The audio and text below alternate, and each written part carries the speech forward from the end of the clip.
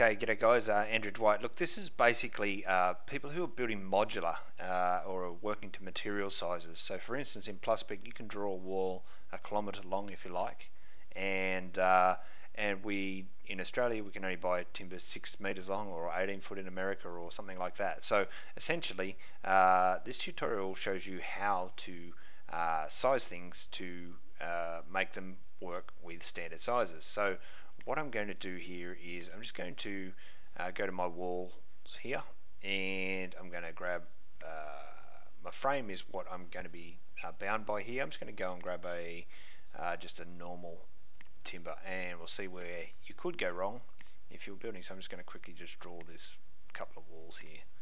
Uh, let's go here. So I'm going to draw a couple of walls that are going to be over the, the size that you can buy from a manufacturer standard off the shelf. And that would be the same in feet and inches or whatever. I'm just going to go here, here, and here. Something very, very simple.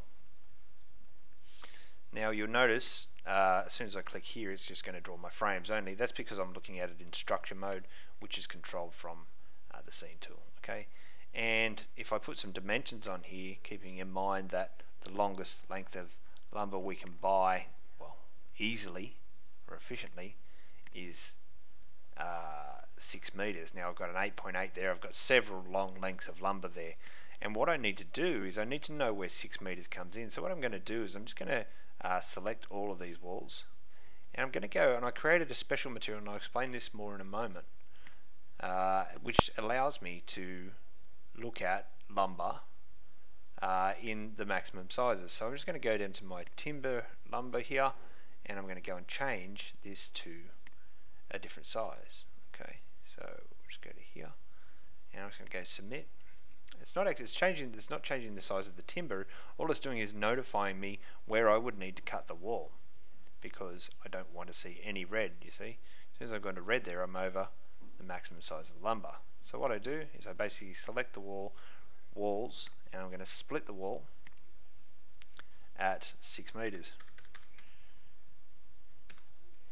Okay, and you'll notice that now I have no red and I have a join in my wall there.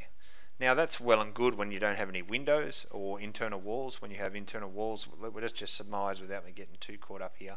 We've got an internal wall here, we have an internal wall here, and we've got a, I'll put some windows in this wall here because you would change the locations where you would put your splits in your walls because you don't want a split to go through the middle of a window. Right, and I'm going to put one through this wall here so we can see what we would do. Okay, so what I'm going to do is I'm going to go down and have a look at it from the top down again. And you know what, you can see that we have a split there in the middle of the wall. And I don't want to have a red material.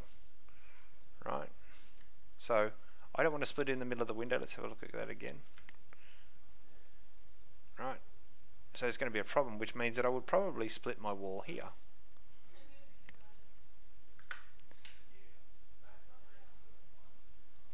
Oops, I still drawn a window.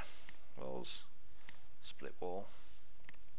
And I would try and split it to a standard length if possible, and those little lines there are representing standard lengths. Okay, and now you can see, oh, I've still got one more red here. If I had another wall or window or whatever it might be, or I might want to make the walls more manageable lengths for the tradespeople, so I might split this one in the middle. And usually on site they would just put a temporary prop there until they put the roof or trusses or whatever they're going to do there. Okay, and you can see now that I have no red, and it's a very good way of understanding where to split walls. So basically, if you know the lo longest length of lumber available, I'll show you how to do this in a second. Uh, and I said, okay, I always want to do it right here. You can type in 6 meters, or 8 foot, or whatever it is, 18 foot, uh, and, and away you go. Okay. Uh, and the same would go here. Split wall. I think we get the idea. Longest length of lumber, 6 metres. You'll see down the bottom right hand corner, I've typed in 6,000 millimetres. I'm working in millimetres. Okay, and basically now I can see I've got no red. I can see I've got a little bit of red there. Uh, and I have the solution that I require, and I have my splits in the modules of the walls. Now, it might be that the, you can build a wall 6 metres long, however, the tradesman won't carry more than 4.2 metres. Well, then it'd be the exact same thing to put it in 4.2. How did I do it? Okay, so what I did is essentially I, I, I just drew something to scale. You can see that it, I've just got SketchUp materials here and what I did is that red is easy to see therefore I put red in because I'm over the maximum size. So I drew uh, a rectangle. I'll show you. Let's move it out here. Like that. At whatever your increments are usually a foot or two foot or 300 or 600 millimeters. And I went times oops sorry times however many I go times 5 and then uh, you know I, I did the same thing here, just changed the color basically. Right, and then I just wrote on top of it and I took a screenshot. So basically I'm using a screen capture tool now called um, snippet tool, but what I'm actually making this video is, is with Faststone Capture, so I can't use that. It's a much better tool than snipping tool. I go new, and all I want to do is basically go to the end of my texture here.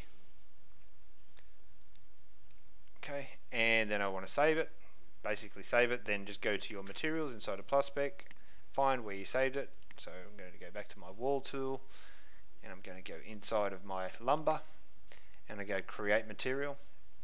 This is Plusspec 17 guys, you'll see this as soon as it's out. New singular material.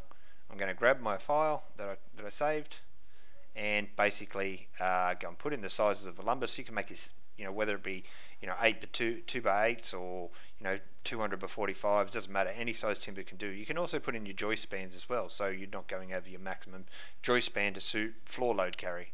Uh, it's a very efficient way of getting a lot done visually at the same time as still creating you know a, a, a model that you can do as a, a, bill of quantities you know what and you can take these walls and if you had a truck I might have a truck here uh, let's have a look I'll, I'll take this file this wall here, Control C. I'm just going to copy it. I think I've got a model here with a truck in it. Here we do. Uh, cancel. Okay, and if I say pasted this these frames, we can see how we go about fitting them on a truck. And this is important. You know, the uh, the ability to move uh, the walls so we can figure out how much is going to fit on a truck is, is really, really important. Just get rid of that.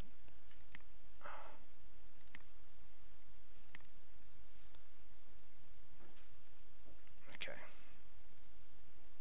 Move my little house over here. And how would I go about fitting it on a truck?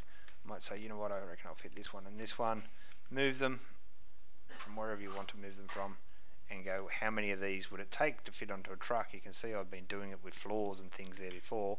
And before I know it I have all of my wall modules sitting on side of a truck and then I can figure out my delivery schedule. You can push control and leave the existing walls there and bring them over as well if you wanted to like I've just done here. Okay.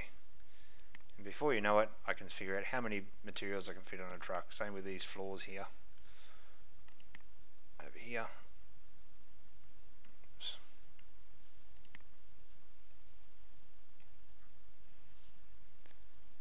And you get the idea. My shadows are on, I probably should turn them off, it's more for demonstration view. Okay. Alright guys, hope it helps you out. Cheers.